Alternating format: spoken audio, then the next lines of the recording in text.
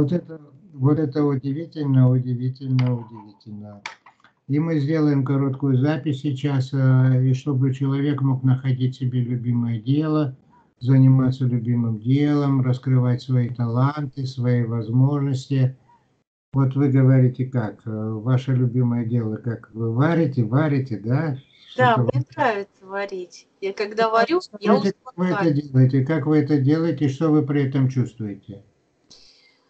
Ну вот иногда так думаешь, что вроде вот нужно варить, не знаешь, что варить, а когда начинаешь уже варить и входишь в этот процесс, и реально успокаиваешься прям вот. Очень ну, хорошо, я... очень хорошо. А еще вы любили бы что сделать? Вот, допустим, вам бы сейчас предложили что? Играть на чем-то там, или рисовать там, или изобретать там, или танцевать. Э, что бы вы выбрали? Но мне вот нравится с компьютером работать. Хоть да. я вижу вот и не очень, но я, у меня есть программа, я увеличиваю и могу что-то прочитать. И интересно вот так открывать что-то новое, посмотреть. Группа у меня есть православная. И вот я это туда выкладываю. Вы такая позитивная, у вас такое вот прямо лицо, прямо светится, вы такая красивая. Спасибо. Ты такая замечательная. Ну, конечно, конечно. Вот, э, конечно, вы в компьютере тоже можете что-то хорошее делать.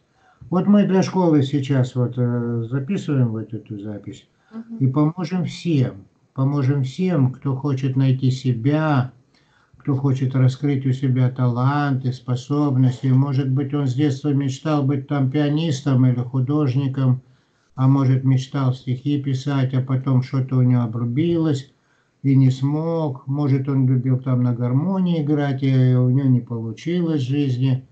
А поэтому у него там, потому что у него способности не реализовались, у него поэтому напряжение растет, растет. А когда он об этом думает, мечтает об этом, у него напряжение падает, потому что когда человек думает о том, о чем он хочет думать, ему легче – да, или это не так? Как? Да, вот когда мы делали разгрузку, и вы говорили, вспомните в детстве, вот что вы это любили. А у меня было маленькое такое пианино, и я на нем играла двумя пальцами.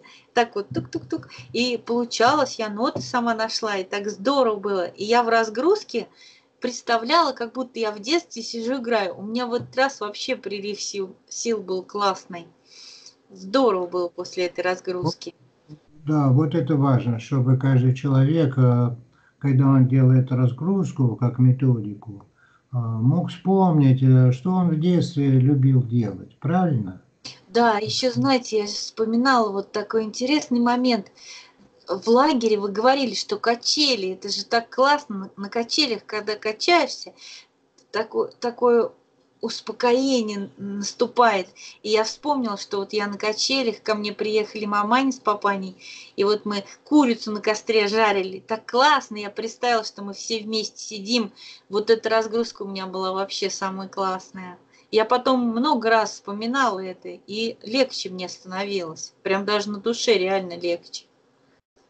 Вот это замечательно. Это замечательно. Вот вы сидите сейчас, покачиваетесь, вот покачиваете. А я, люблю, я правда, вот у меня это идет уже, наверное. Я сижу и качаюсь, и мне легче. А что у вас там по телевизору показывают? А, я не знаю, просто идет так потихонечку и все. Понятно. Как, как вам, вам, конечно, нужно, вот сейчас время-то сложное, конечно, вам нужно, чтобы вы похудели, вам нужно больше, конечно, хорошего смотреть. А, Я смотреть хорошего, да. А, я, например, советовал многим шутку, смотрите одесские анекдоты и мои картины. Ну, шутку так, я советовал. Картины. А вы мои картины видели? Да, мне нравятся, некоторые прям очень нравятся, которые вот пароход там такой с, это, с белыми такими парусами мне нравится, и цветы а. мне нравятся. А самые любимые у меня ромашки. Ромашки у вас. Ромашки, да, спасибо большое, О, спасибо. Что, что? Ирония судьбы. Ирония судьбы. Да, Наташа судьбы. подсказывает, говорит, там ирония судьбы показывает. Он вот сто, сто раз его как-то смотришь, да, уже наизусть знаешь, а все равно приятно. Там музыка Да. хорошая. Вообще музыку очень люблю. Очень хорошо. Но вы делаете несколько дней вот э, это упражнение, то, что мы сегодня делали. А потом мы в школе покажем, я покажу это упражнение, тоже важное, как отцепляться от тех наваждений, которые вот, ну, допустим, вы в детстве хотели заниматься чем-то, любимым делом, а вам кто-то сказал, да ничего у тебя не получится никогда. И это становится прилипчивым. Да. А, И потом не делайте этого.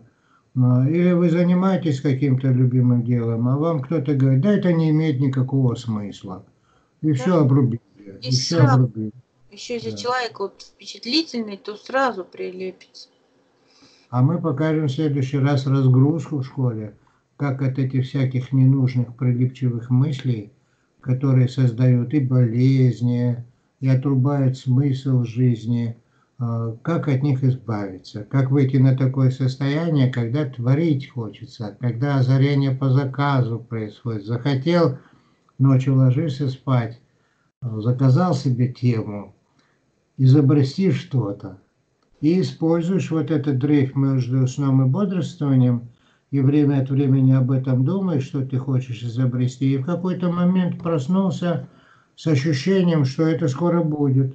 Да, скоро так будет на самом деле. И ты через несколько дней, вдруг у тебя идеи приходят. То есть как это использовать? Это у меня еще в волшебной подушке, я об этом говорил. Смотрела этот вебинар. Я Понравился? вебинар? Понравился, Я заказывала, да. Потягушеньки я делаю. Утром «А, говорю, сегодня хороший день. И получается. Кстати, Получается. получается. Уже какой день хороший. Отлично. Ну, спасибо вам, спасибо, до встречи. И вам До, спасибо. И вам спасибо большое. до завтра. Здоровья вам. До завтра. До завтра.